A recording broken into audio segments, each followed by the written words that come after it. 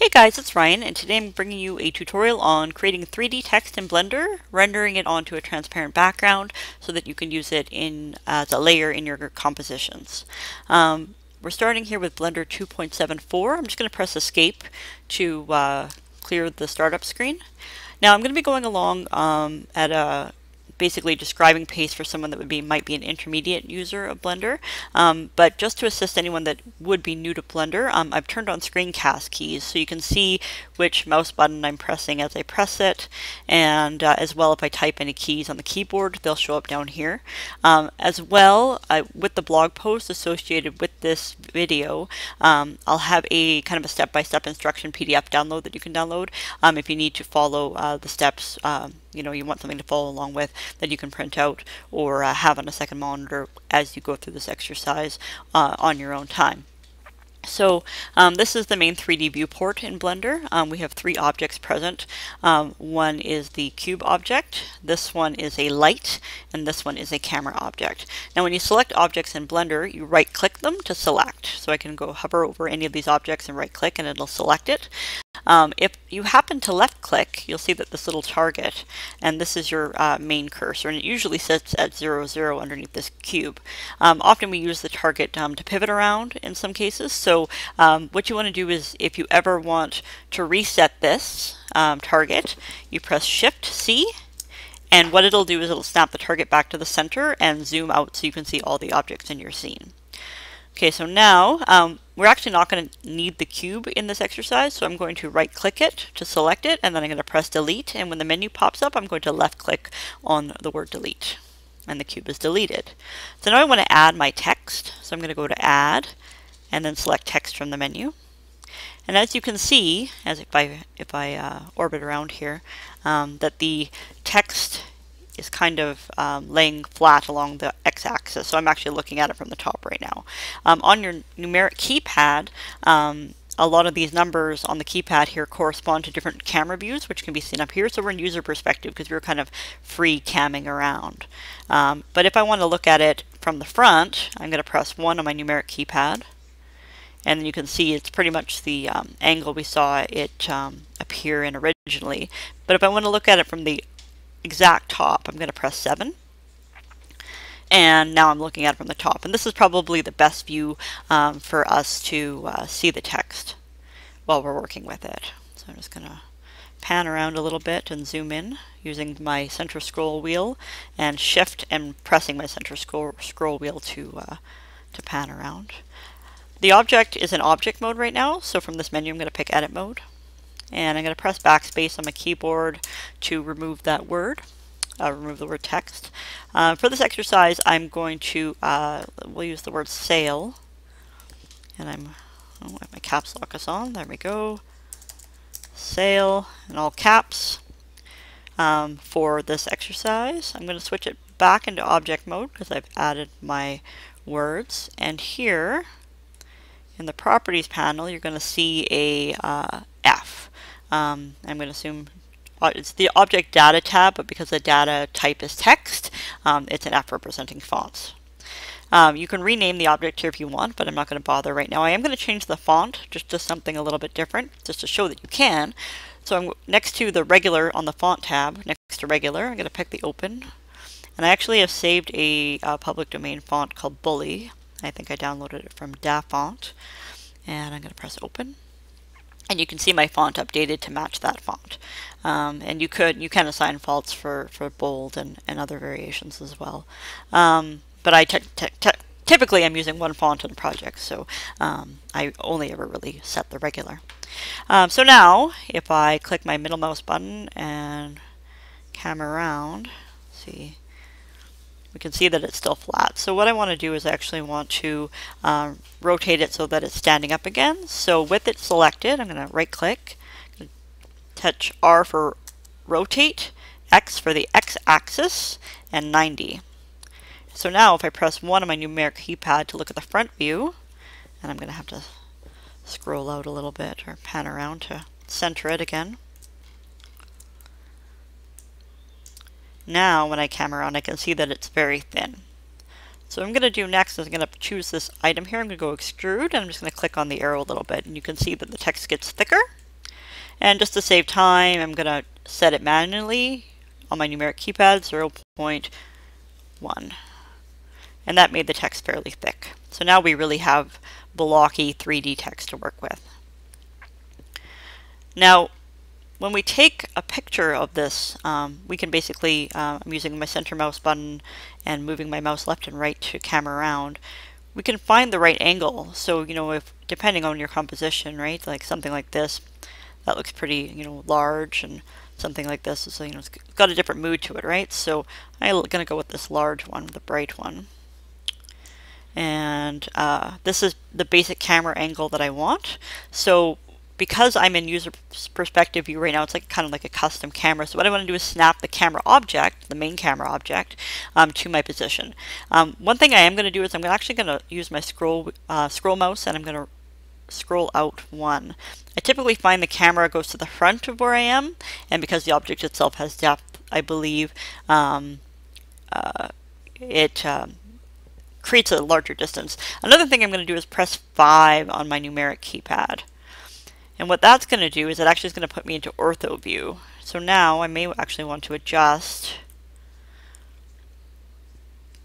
adjust my my image a little bit because I'm an ortho. It gives you it's it's like a non-perspective view. The uh, your sense sense of depth is a little bit different, and I can kind of see the horizon there. So that's dead on. But let's come up a little bit around there. Okay, so let's say that I'm happy with that um, right there. I'm going to zoom out one, and now I'm going to press Control, Alt, and 0 on my numpad. And this shows me um, the view that my camera created. So I told you that I zoomed out a little bit. I'm actually going to do it again uh, and zoom out a little bit more and maybe push the text a little bit to the left. So I'm going to use my middle mouse button and click and then you can see that the camera is like right on top of the text there, even though I was at about this spot. So I'm going to pick a spot again that I like. It's probably going to look pretty much bang on with this X here. I'm going to come out two times, and again I'm going to press Control Alt 0, and now my text is fitting in the frame. It could probably still come a little bit left again, so I'm going to go back here. I'm going to hold Shift and click my middle mouse button, and just move it to the left a little bit. And again, Control Alt 0, and there it is pretty close to center. I'm pretty happy with that. So now I have my framing right. So what I want to do is preview my render is going to look like. So I'm going to press F12.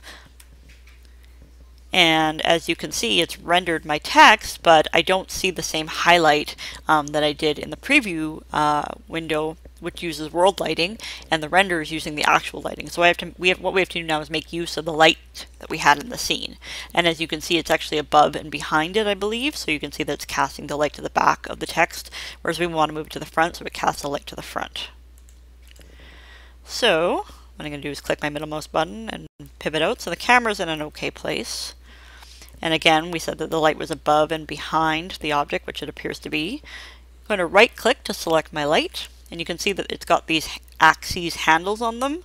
The uh, green is the y-axis, the red is the um, x-axis, and blue is the z-axis, which brings us closer to our item. So first I'm going to bring uh, the light down, and then I'm going to look from the top, and I'm going to bring it to in front, and then grab it by the red handle and drag. So now it's going to be to the front of that text, but slightly up and just to the left. So now I'm going to press F12 to check my render again. And now you can see um, that uh, you know the light is coming from the top left. Now actually, see I'm going to see if I can get rid of this triangle here. So I'm going to bring it down a little bit and press F12 and it's uh, almost gone. I'd say that that's probably close enough. Um, so I've got okay lighting in this scene. Now, you can do three-point lighting, which means that you can, if you have this light selected and you press duplicate, it'll create a second copy of a light of the light for you. You can also adjust its um, settings here, 0.5, let's say, so that light's a little bit dimmer. So now if I press F12 to render, you can see that there's a bit of a backlight coming in from the other side, but it's not quite reaching over here. So you can add other lights to the scene and, uh, and see the different lighting effects you can get. But we're just going to stick with the one light for this. Now, if I press F12 again, this is just black and white, which is fine if you if you want your item to be black and white, but you can also add color at this stage. So the first thing that we're going to do is we're going to select um, our sale text and um, I'm going to right click it to select it. And then I'm going to go here to the materials tab. And what we're going to do is basically we're adding like a, a materials layer on top of this text. So I'm going to press new. And I'm just going to click in here, rename it to matte color. And the diffuse layer is basically your color layer and the specular layer is your highlight layer. So I'm going to just crank the intensity up to 1. Let's choose a color. I'm going to pick a tealy blue color somewhere around there, but nope. I'm to turn the darkness down. And you know what, that's not a very good sale color, so you know what, we'll do something else. We'll do it red. Sales are always in red, right? Fire sale, that kind of thing. And I'm actually going to brighten it up a bit. Okay, so now we can see in this view here that um, that our, uh, our text is red. If I press 0 on the numpad, you resume the uh, main camera position so I can see that my text is now red. I'm going to press F12 to render. And now my text is red and very shiny for my lamp. So I'm going to go back here, back to the 3D view, and um, the one other thing, oh actually, know, we can look at the render for this. One thing to note is that this background here is a gray color. It's basically like the world color or the sky color within Blender. So I'm going to go back to 3D view and I'm going to go to the, sorry, I'm just going to remember where it is. I think it might be on the N panel. No, it's the shading panel. So we're in the properties panel, render tab. Under the shading sub panel, you're going to see this alpha, and you're going to change it from sky to transparent. There's a second spot that you might want to check. It's usually like this by default, but under output, you want to make sure that RGBA, A standing for alpha, is the item selected. So now when I press F12 to render, I have the text, but as you can see by the checkerboard, it's on a transparent background. Um, this makes it a lot easier for us to render. So let's say that I'm happy with the lighting on this image, and this is my final image. I'm going to go to the image menu, save as image, just going to drop it on my desktop and I'm going to call it sale text .png and you can see here that the file name is PNG and that RGBA is selected. I'm going to press save as image and now that image is saved as a PNG on my desktop and um, and I can load it up in uh, Photoshop or another program. Um, Another thing to mention is that if you think you might want to go back and edit this later, you can go to File, Save As, and save the Blender file. So if you decide that once you get in your composition that you really want it turned a little bit more, or that the color is too dark, you can come back into this file and make those adjustments, and really customize your 3D text to look exactly the way you want it to. So that's it for this um, part of the tutorial, um, or this tutorial period. I think it's done now.